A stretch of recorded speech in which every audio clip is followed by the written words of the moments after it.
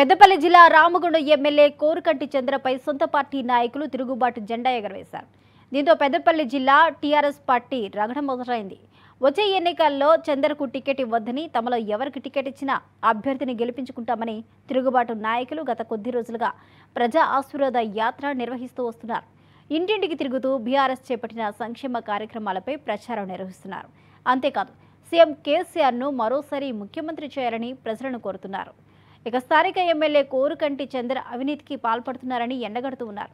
రామగుండ ఎరువుల కర్మాగారంలో ఉద్యోగం ఇప్పిస్తానని డబ్బులు కాజేస్తారని బూడిద ఇసుక మట్టి దందాలలో కమిషన్లు దండుకున్నారని విస్తృతంగా ప్రచారం చేస్తున్నారు. ఆయనకు టికెట్ ఇస్తే పార్టీ ఓటమి పాలవుతుందని బహిరంగంగానే చెప్పడం చర్చనీయాంశంగా మారింది.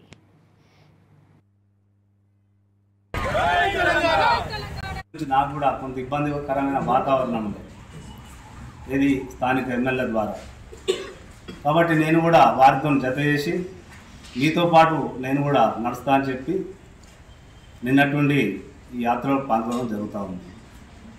ముఖ్య ఉద్దేశం ఏంటంటే ఈరోజు తెలంగాణ రాష్ట్ర సమితి అనేది భారత రాష్ట్ర సమితిగా ఏర్పాటై ఇలా భారతదేశంలోనే ఒక భారత రాజకీయాల రాజకీయాలలో ఒక మలుపు తిప్పే విధంగా ఇలా పార్టీ నడుస్తూ ఉంది. కానీ ఇక్కడ స్థానిక శాసనసభ్యులు మాలాంటి నాయకులకు కావచ్చు అదేవిధంగా కింది కింది స్థాయి కార్యకర్తలకు కావచ్చు. చాలా అనగదొక్కే కార్యక్రమం చేస్తూ ఉన్నాం. అనగదొక్క దొక్కే కానీ ఇక్కడ పార్టీ నష్టపోతుంది. రేపు పొద్దున రాబోయే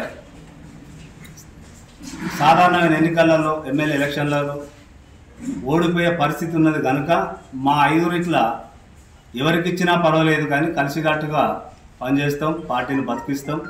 ఇలా ఎమ్మెల్యేలకు ఇస్తేనే ఇలా ముఖ్యమంత్రి కావడం జరుగుతూ ఉంది. మూడవసారి కేసీఆర్ గారు ముఖ్యమంత్రి కావాలంటే ప్రతి ఎమ్మెల్యే కూడా కీలకమైనది ఈసారి.